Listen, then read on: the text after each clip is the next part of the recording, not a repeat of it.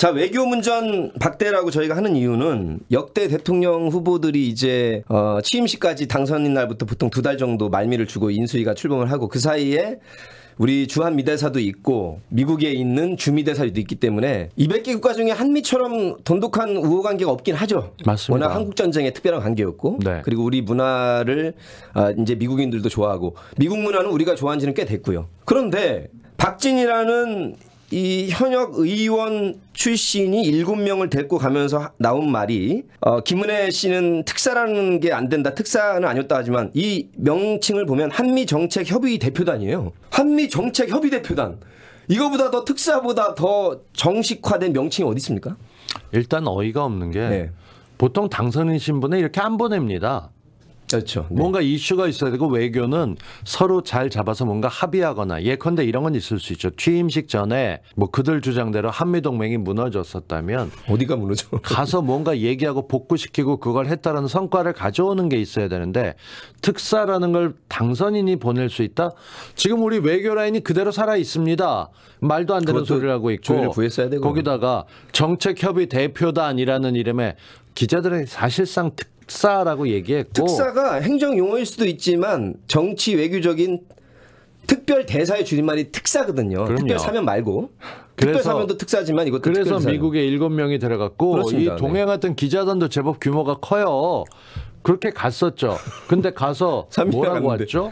안보 보좌관이라고 제이크를 만나고는 왔어요. 음. 그리고 친서를 정해주곤 했는데 제일 중요한 거는 바이든 대통령이 바쁘면 사실은 전 세계 외교를 관장하는 미국은 국무장관이잖아요. 이 부분을 만났어야 됩니다. 우리나라 문재인 블링컨을 못 만나고 온 거예요. 우리나라 문재인 대통령이 갔었을 때는 바이든 대통령을 만났는데 카밀라 부통령이 어, 뛰어나와가지고 부통령까지 나왔죠. 같이 나와서 이게 웬일이냐 이렇게 둘이 만나는 거 이거는 순전히 정말 만나고 싶었다거나 얘기하는 것들에 대해서 이게 애정이 있고 외교가 잘 되면 이런 겁니다. 이거 되게 크게 보도돼도 될 건데 안 됐죠. 우리만 너무 좋아했고 외교하는 사람들. 근데 원래 가면 그런 거 특사 가면 한 20개, 30개 정도 하루 종일 미팅 하잖아요. 하루 갔다 온 것도 아니야.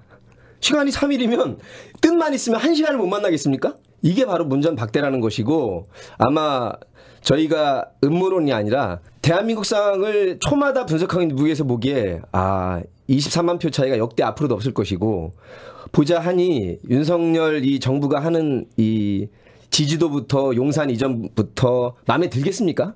사실은 바이든 대통령이 김대중 대통령 때부터 우리 민주당과 호흡을 맞춰오신 분이고 아, 코드가 맞았는데 저는 상당히 신호를 준 거라고 봅니다. 그래 가지고 한미 관계를 깨겠다는 건 아니지만 그런 식으로 조율 없이 마구 들이대식으로 와가지고는 어떻게든지 시간이 한두 번은 나겠지 혹은 반나절은 주겠지라는 식으로 외교를 해서는 안 된다는 것을 이번에 명확히 알려준 거예요. 이게 정말 우상호 의원이 외교 참사라고 표현했는데 정말 문전 박대고요. 이렇게 사전 조율 없이 당선인 신분이 정책 대표단 이름으로 보낸 것뿐만 문제가 아니라 정작 갔으면 거기서 외교 여력을 발휘해서 국무장관 블링컨이라도 만나고 왔어야죠. 맞습니다. 네. 부통령이나 대통령은 뭐 차치하더라도 그런데 원래 그런데 가게 되면요. 한 20개 정도 모임이 있었던 분단위로 보도가 됩니다. 그들 말대로 외교 한미 동맹이 깨졌다고 하게 되면 중요한 사람들을 만나고 의사 결정할 사람을 해야 되는데 기본적으로 만나는 사람은 대통령급의 사람 혹은 그 밑에 있는 국무장관 이 정도 되는 사람들을 만나면 예. 정확한 문서가 워딩 하나 딱 나옵니다. 뭐뭐를 하기로 했다라고 되는데 그 둘을 못 만났어요. 우리나라 따지면 외교안보 수석 정도 만난 거 야. 그거보다도 좀 낫지만 수석보다 보좌관이. 낫지. 근데 예. 이게, 뭐 창피야. 우리나라 국격이 지금 전 세계 10등 아닌데. 이건 외교 참사가 맞는 게 보통 그런 데 가면요. 모르니까 현장에 가서 보자 뭐 이런 얘기 저런 얘기를 하고 나오는데 우리 비교할 사례가 있습니다. 그 헬리 키신저를 만나갔던 김현종 전 차장 차관 같은 경우 경상 교섭 본부장까지 네. 가서 자기들이 만날 사람 만나고 연락하고 전화번호 만나고 중요한 것들 만나고 왔다는 얘기들 전합니다. 이게 보수 쪽에서는 내 타이틀에 만나주겠지라고 착각하는 경우가 있는데 박진희 외교부 장관 후보자였고 뭐 했다고 하게 되면 가서 대우를 했겠죠. 근데 분석 누구보다 더 잘합니다. 예. 박진 한때 미국 통이라고 하지만 사실 보수가 거의 은퇴했던 박진을 다시 그렇죠, 끌어낸 거 맞습니다. 아닙니까? 뭐 살아있는 라인들이 얼마나 있는지 몰라도 갔다 와서 만나지 못했다. 이거는 외교 자격이 없거나 아는 사람이 없다가 되는 거예요.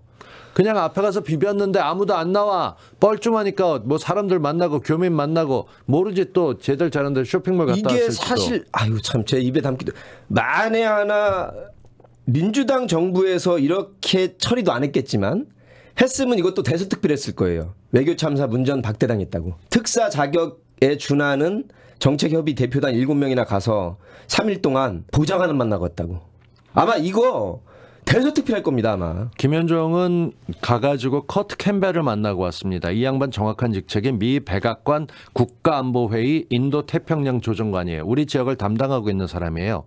그러니까 키신저를 만나고 키신저하고 얘기 나온 다음에 커트 캠벨을 만나고 왔다라는 게 굉장한 화제가 됐던 게 예. 단독으로 외교 이력이 뛰어나기 때문에 통상 과정에서 수많은 사람들과 연을 맺어왔고 그 관계를 소홀히 하게 되면 끊어집니다.